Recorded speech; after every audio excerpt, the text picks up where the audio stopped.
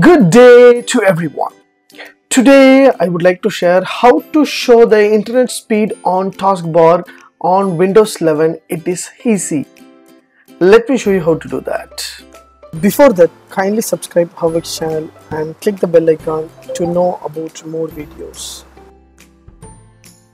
Yes, from my laptop, I just open start menu and I just go to Microsoft Store.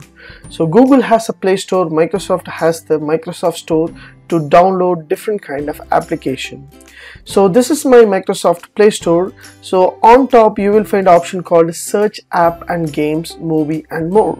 So just choose here and just type net speed meter.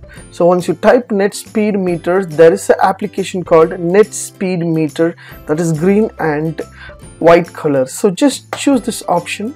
So once you go to this option so you can download this one as a free application.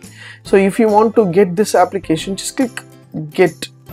So once I click get option automatically my application will be start downloading over here. So it is a free application using this application I can see my monitor so that my net speed what are my net speed are there. So how many GBs have uploaded how many GBs are downloading everything will be there and I can able to access. So within a second my application is going to installed in my laptop. As you see here so I have installed the application. I just click here for the open. So once I click the open automatically my net speed application will be running over here. So my net speed application will be running over here. So on your top this is the advertisement just close this advertisement. On your top you will find your net speed application details will be there. So how many kbps and uh, download speed everything will be there. So i can able to get this one.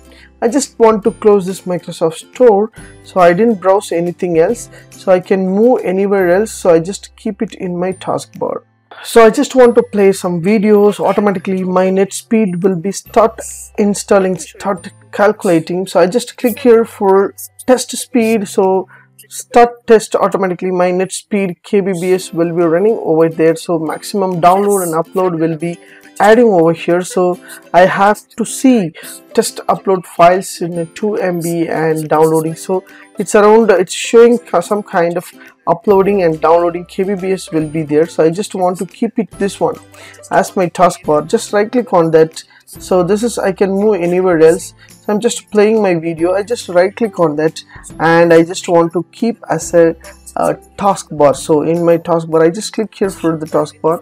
The taskbar will be added over here. So I just want to choose data usage start and stop speed watch and quick links I can get to network connection and everything so that I can able to refresh what are the things? So first and 500 meter speed. What are the speed I can give? I can choose and I can make as a setting option. So using this tip you can see your net speed in your laptop. You can identify the monitor. If you like these tips please share with your friends and subscribe my HowXT channel. Thanks for watching dear friends. Have a great and good day